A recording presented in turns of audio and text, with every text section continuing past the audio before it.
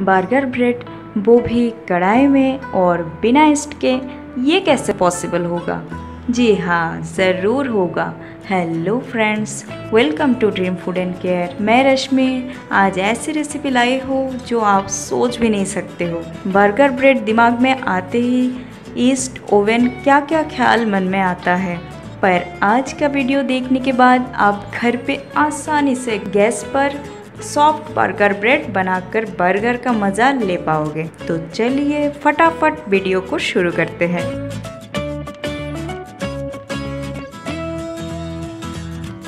बिना ईस्ट और बिना ओवन से बर्गर बनाने के लिए पहले भगोने में दो कप मैदा लेंगे। आप आटे से भी बना सकते हो, लेकिन वो ज़्यादा सॉफ्ट नहीं बन पाएगा। अब एक चम्मच आइसिंग सुगर लेंगे। चीनी को मिक्सी में पीस कर भी आइसिंग सुगर बना सकते हो।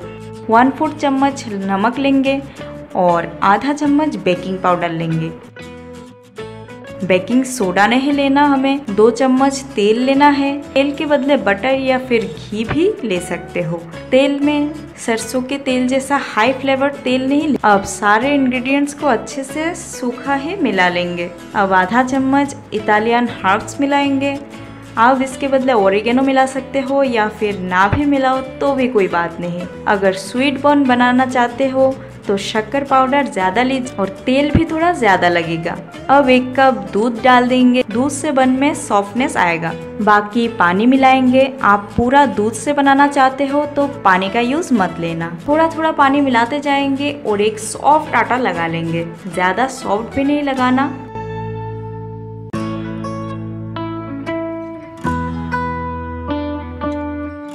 हाथ पे तेल लगा के ऐसे गोल गोल स्ट्रेच करेंगे। ऐसे करने से डो की सारे रेशे ख़त्म हो जाती है और डो सॉफ्ट बन जाता है।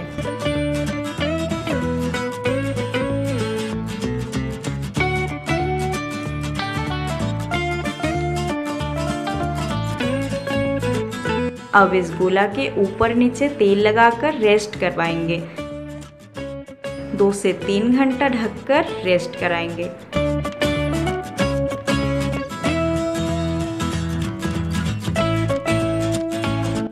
देखिए, दो घंटा हो चुका है, डो काफ़ी फूल गया। अब इसे बहुत अच्छे से मसल लेंगे।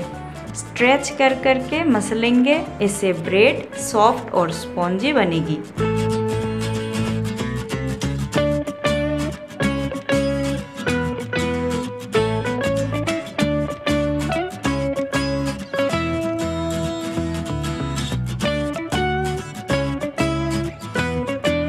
अब इक्वल साइज़ में काट लेती हूँ। चार इक्वल साइज़ में डो को काट लेंगे। इसे भी गोल को स्ट्रेच करेंगे। ऊपर से नीचे की तरफ़। देखिए, एक भी रेशे नहीं आई।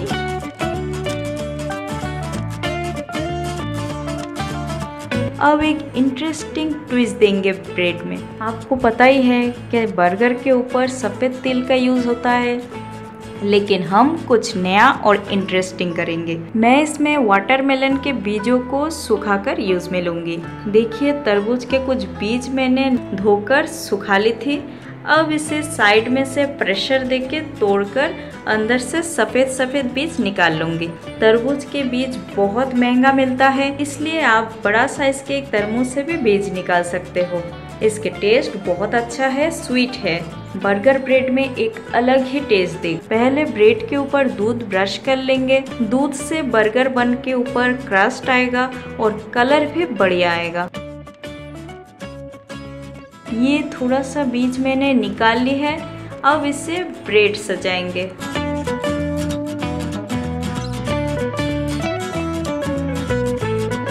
अब देखिए एक कढ़ाई ली मैंने। मोटा बेस वाला कढ़ाई लेना, वरना कढ़ाई जल सकता है। नीचे नमक डाल देंगे। नमक से अंदर हीट इवेंचुअली स्प्रेड रहेगा और ब्रेड जल्दी से बनके तैयार होगा। कढ़ाई को मैंने पाँच मिनट तक प्री हीट कर ली थी। ब्रेड को ऐसे जाली में रख दी मैंने। आप किसी स्टैंड लगा, उसके ऊपर प्लेट में भी ब्रेड बना सकते हो। ये मेरे जुगाड़ो स्टीमर रेडी है। अब लीड के ऊपर इस छेद को आटे की बनी छोटी सी लोई से बंद कर लेंगे और लो फ्लेम पर इसे 30 से 35 मिनट तक बेक करेंगे। देखिए 35 मिनट में कितना शानदार बर्गर ब्रेड बनकर तैयार है। इस औसम लुक्स के लिए एक लाइक तो बनता है। आप देख सकते हो कितना प्यारा ब्रेड बनी है। नेक्स्ट वीडियो में इसी ब्रेड से मैं इंटरेस्टिंग टेस्टी चीज़ी बर्गर बनाकर दिखाऊँगी। तो इसीलिए मेरे चैनल को सब्सक्राइब कीजिए और साथ में जुड़े रहे और मुझे बहुत सपोर्ट करें। Thank you.